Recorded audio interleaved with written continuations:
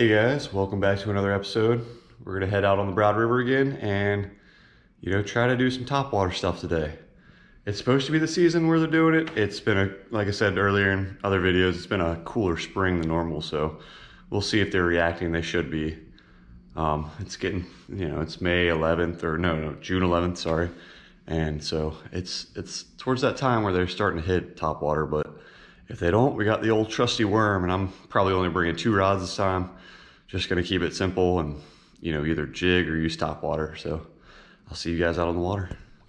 All right, guys, I've made it out on the river, and it is like 5.30, so it's still dark. I just wanted to be out here first before anyone else does because it's Sunday, and I know there's gonna be a ton of people out on the river.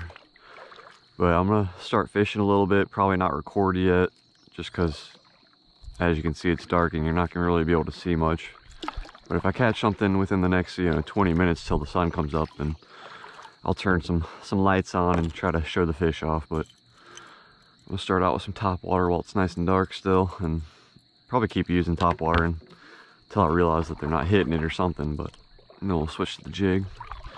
But we're gonna get started here and I'm gonna paddle upstream and see what I can do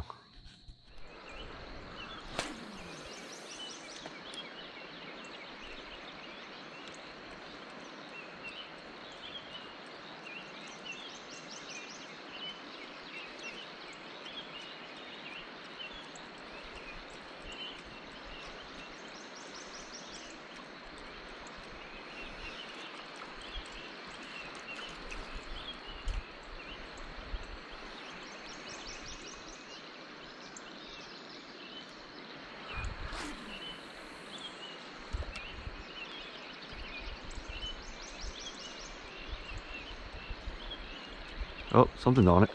There we go. First topwater fish of the day. Did he come off? Nope. He might have just came off there. No, he's not. It's right there. First topwater smallie of the day. Not too shabby.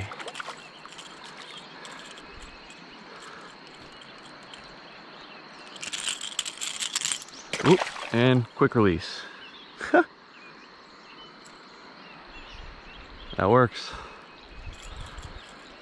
All right, guys, first fish of the day. Not too terrible. Not too bad. About a one pounder.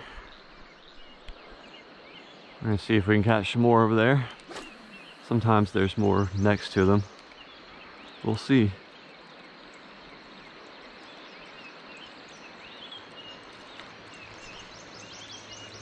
That was another one after it.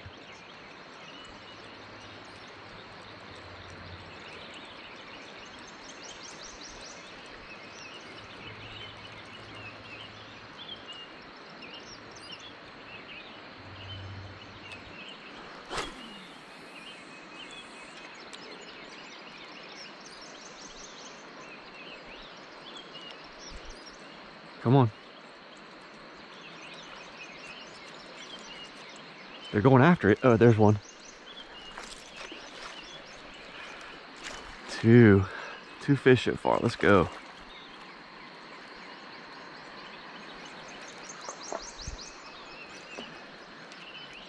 Super aggressive this morning. There's another little smallie about the same size. Ooh, and he got every bit of the hooks there. I might have to actually get my pliers for this one. It's another little smallmouth. Something's a little messed up with its tail, but we're gonna let it go. And there was another two or three to follow up too. So I'm just gonna wear this hole out a little bit before I move up any further. But that is so fun when they hit top water like that. Here we go again, getting out there. Try to get it as far as possible.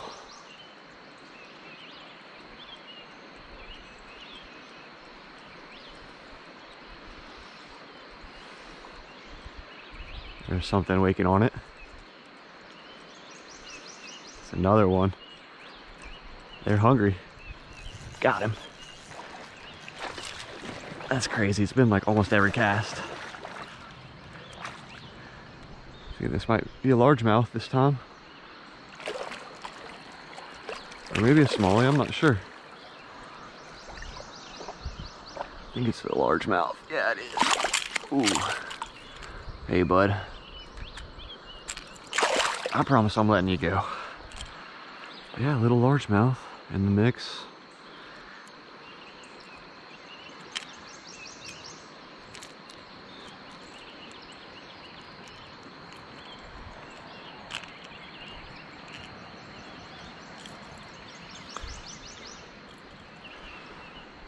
Three fish so far on the on the spook. Let them go. Hopefully we can catch some sizable ones too. Get back out there again. I'm just gonna wear this hole out until they're not really biting as much anymore.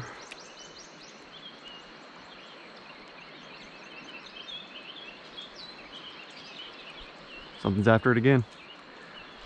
Another one. That is crazy how good this hole is right now.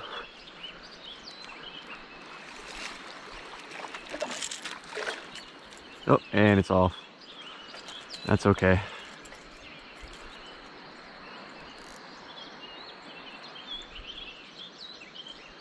Oh, I'm gonna see if that one will bite.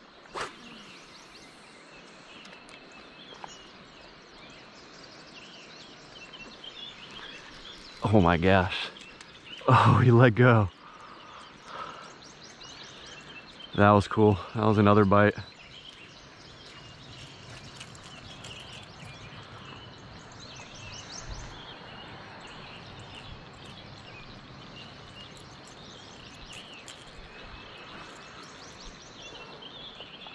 Try over there again and see, because that was a pretty decent bite right there. That looked like it could have been a better fish. He may have felt the hooks and not want to come after it again though. Try back over here.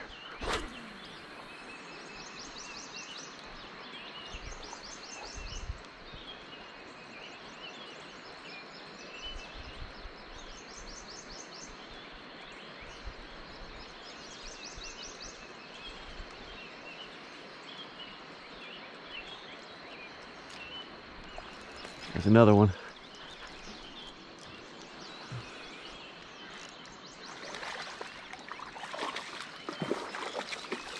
Could be a nicer fish here.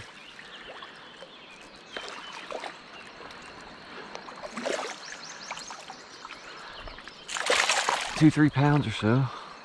Probably two. Yeah, like a one and a half to two pound largemouth. Not too bad. Fourth fish of the day, I'd say, or something like that. Wow. It's a good morning. It's a good morning. Get the slime off my hands, restart the video. Get back over there again. That was cool though. That was like six or seven fish on top water right here at the first hole.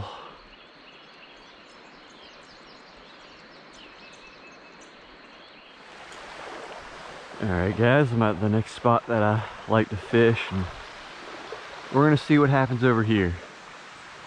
I'm gonna try top water first. Just see what happens.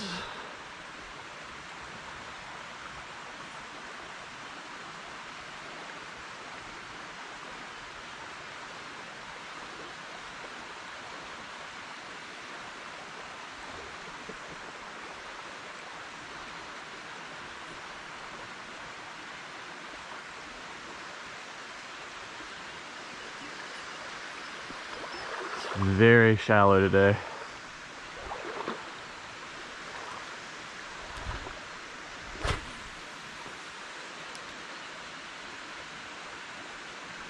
Oh, that was a good one.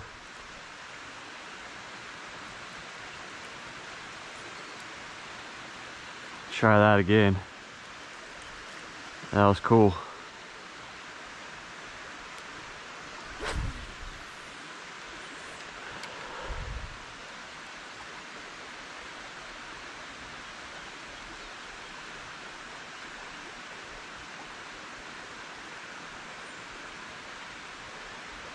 That was a good fish. Short struck it.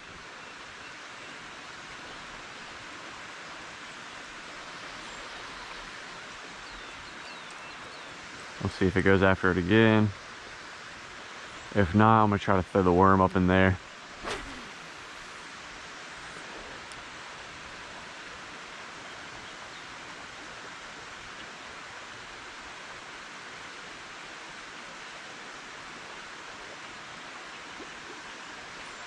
There was something again. They want it, but they're missing it.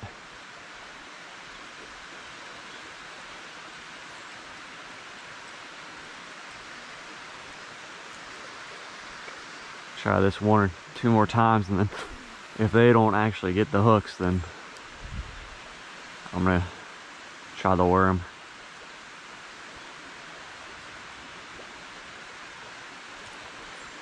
There we go.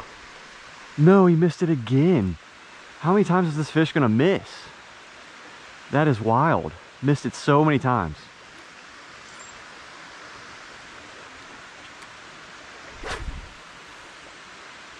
Come on, get it this time.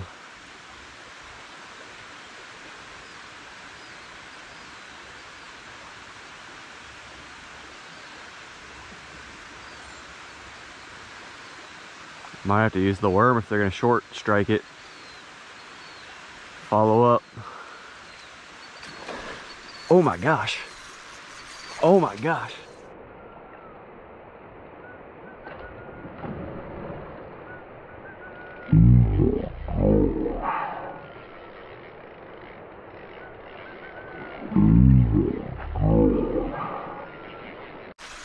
That's a monster. Stay pinned, stay pinned. Stay pinned. That's a big one. That's a big one on the on the. That's probably my biggest fish on this. That's a good one. That's a good one. I'm dragging you up, buddy. I don't want you getting away. That is a big one. That is a Mondo. That's my biggest fish on the river, probably holy, or one of the biggest fish I've caught on the river. I don't know if this is my biggest, but this is a big fish, boys and girls. Wow. Definitely my biggest fish this year. That was bigger than the one striking it over there, but I'm going to uh, get a weight and measurement on this guy or this girl.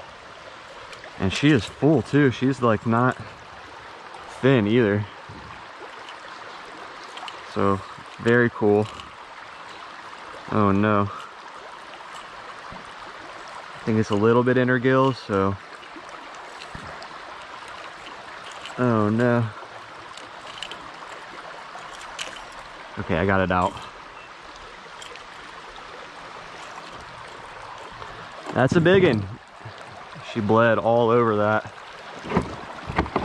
Get the, the bump board. That's a big fish. That is a Mondo. Mondo river fish. Oh man, she's bleeding. I need to get you some water so you can breathe. That's a good one. This is a real good fish. Get all that blood off the tail. We're gonna see how much, how long she goes. This is probably the longest one I've caught this year too. Right at 22 inches. Or, yeah, 22 inches. Pretty much 22 even. And now, so 22 inches.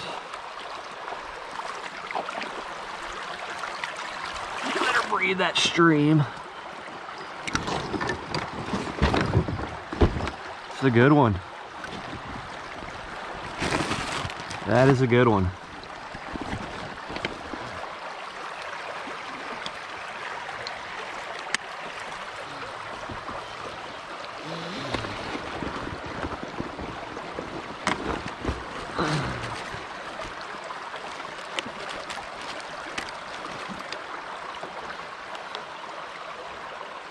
All right, scale is zeroed out. We're gonna see how much this one weighs.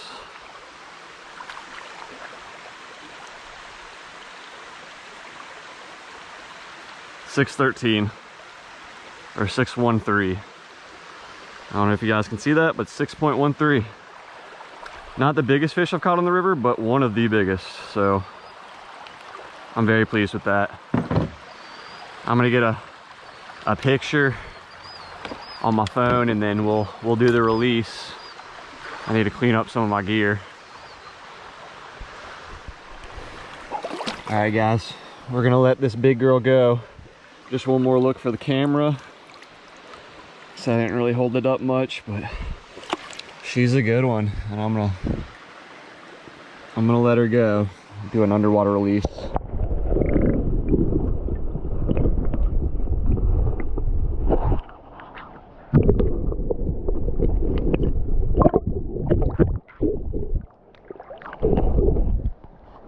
Here she is, she's swimming off. She might go down current, maybe. Oh yeah, she's going downstream. Oh, I need to release her in the in the pool better. That's crazy how she hit. I hope I got that on film. I kind of looked away for a second and that surprised the, the crap out of me, but there she is, swimming away. Man, what a nice fish that was. That was cool. All right, guys, we're gonna get back out there. Clean the, clean the kayak off and got the blood off my spook as much as I can. I don't know if the fish will care much, but I'm gonna get back out there and see if some of these fish, there's uh, some other fish out here that were short striking it. Oh, there's one. Man, they're coming after it, that's for sure. I just need them to get the actual lure. They keep short striking it. That big girl didn't miss it though. Get back out there again. It's that same fish that keeps missing it, seems like.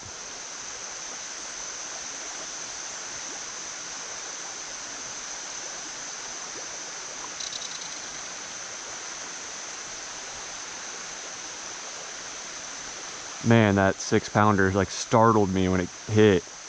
I just heard it. I don't even know if I was looking at the, hopefully the camera got it, but I don't even know if I was looking in the direction that the fish was biting because I looked around, looked behind me for a moment.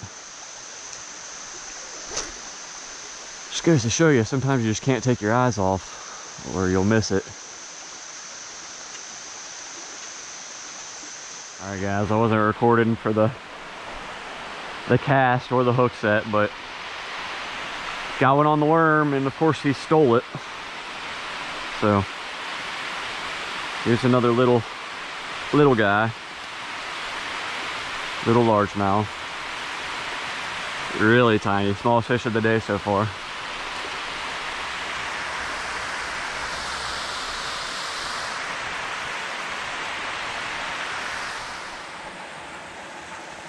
See if there's any fish in these pools over here.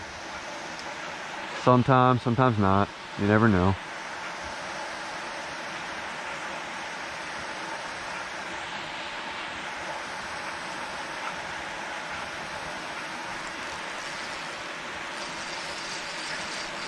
Got something.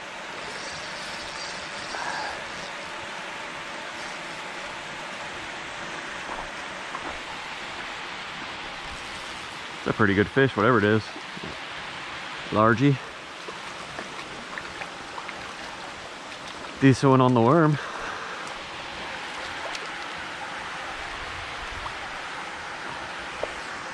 Nice three pound largemouth or two and a half maybe. Probably two and a half, maybe three. Not bad. He pulled. Get him back in there. Oop. Not bad.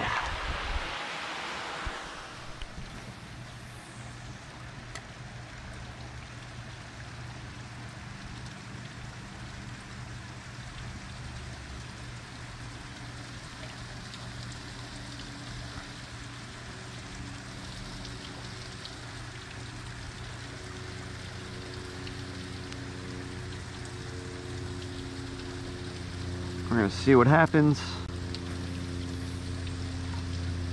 Right here.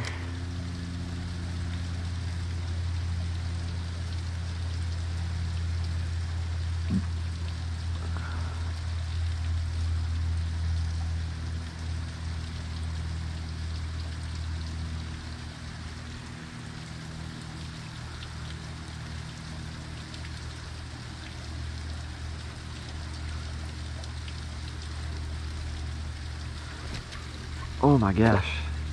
Something. Jeez.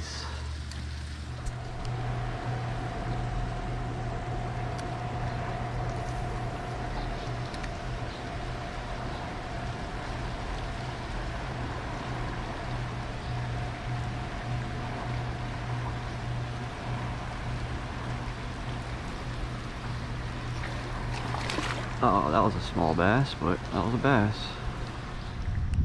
All right, guys, I'm uh, I decided I'm gonna float down and get off the river now and make this my outro.